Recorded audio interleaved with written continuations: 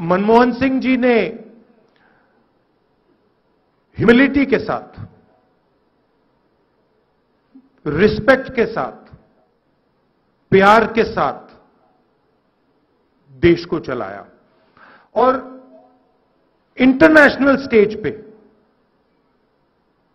मैं यहाँ से कह सकता हूँ कि इंटरनेशनल स्टेज पे उन्होंने दुनिया के नेताओं को प्रेसिडेंट्स को प्राइम मिनिस्टर्स को काम करने का तरीका दिखाया।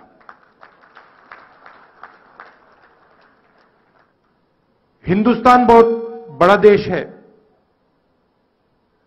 पावरफुल देश है।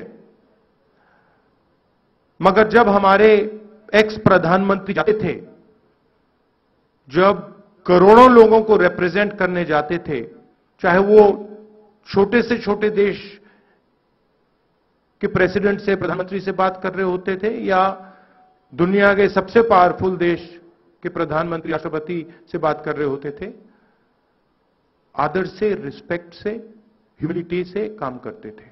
और इन्होंने पूरे सिर्फ़ सिख कौम का नहीं, सिर्फ़ हिंदुस्तान का नहीं, पूरी दुनिया को इन्होंने दिखाया है कि लीडरशिप कैसी की जाती है ह्यूमिलिटी के साथ, रिस्पेक्ट के साथ।